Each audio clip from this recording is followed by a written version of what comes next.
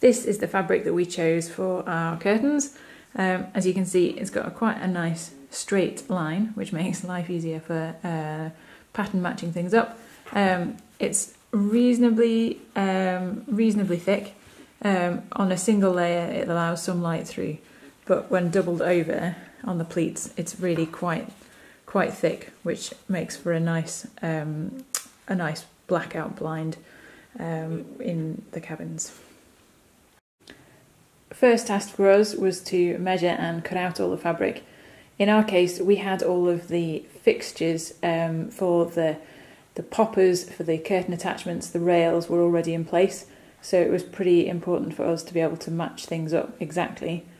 Um, in terms of measurements, we have done a calculation on ours which requires us to need double the length of fabric uh, because of the way that we're doing the pleats.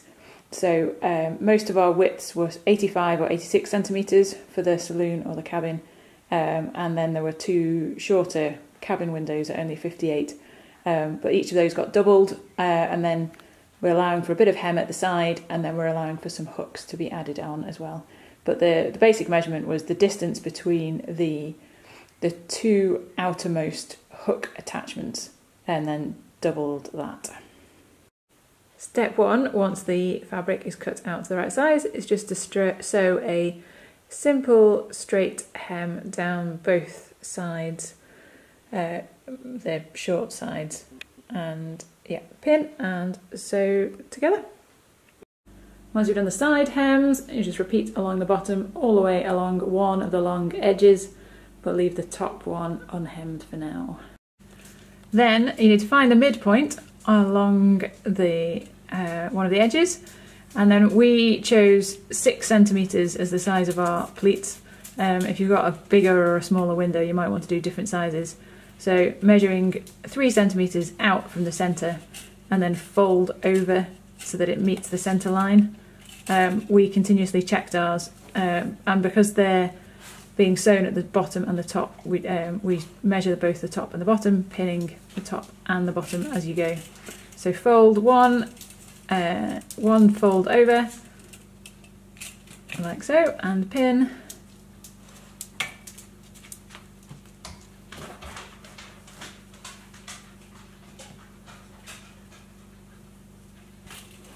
and then you repeat to make the opposite side of the next pleat. So measuring it out for 12 centimetres and then folding 3 centimetres under, which gives you, when it's doubled up, 6 centimetres in the centre and then 6 centimetres of doubled over fabric.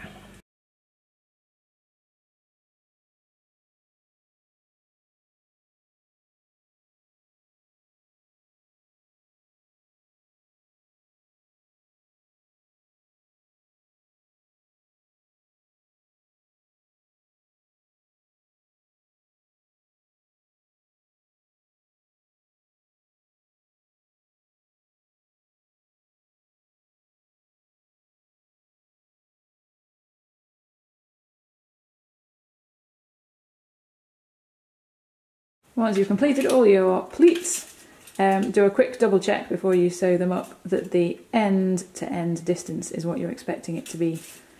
Um, don't forget that you need a bit of extra at the ends to allow your hooks to attach, so we allowed a centimetre at either end. Once all the pleats have been pinned and pressed, we then sewed two parallel lines at the bottom of the curtains to keep the bottom of the pleats in place. Then you can fold over the top edge down and pin some curtain tape in place. Make sure you do a double check of the measurement from the top and the bottom once you've done your folding to make sure that um, it's the right height for your curtain. Um, you could have done the tape before the pleats, but we decided that added extra bulk and was a bit of a waste of tape given how much doubling over there was.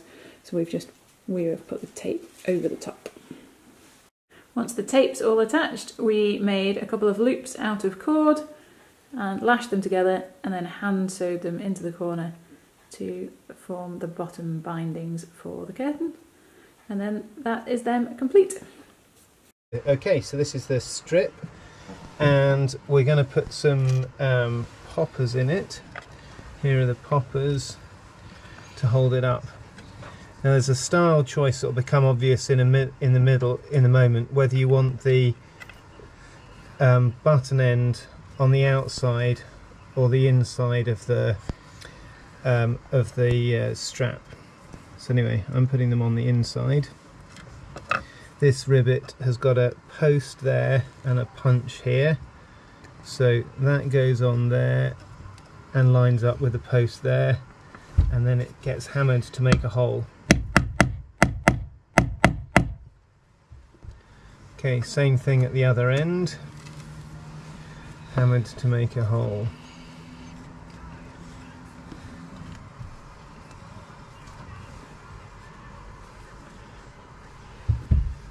That's quite lined up properly. There we go. Okay, that cuts a hole in the fabric.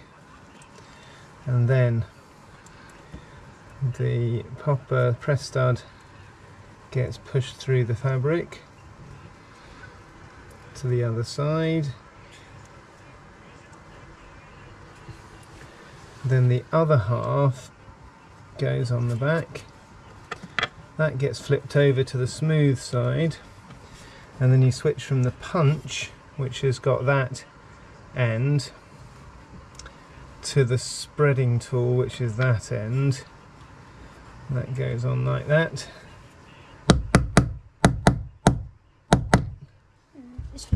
So that's spread the inner bit so it's now attached. So I'll just do the other one at the other end.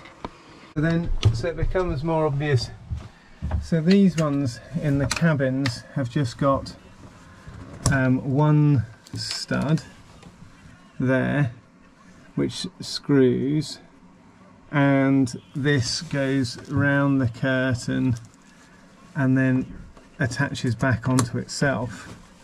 And the question is you know of course what do you want to see? Do you want to see the fabric and a sort of join like that or do you want to see um, this pressed into the press stud? So I've made the style choice of doing it on the on the back so this is the seams now on the inside before I show you the ones on the outside. Here's this one. We'll release that. Here's the curtain in situ. With its hook around one end. And its hook around the other end. That's what it looks like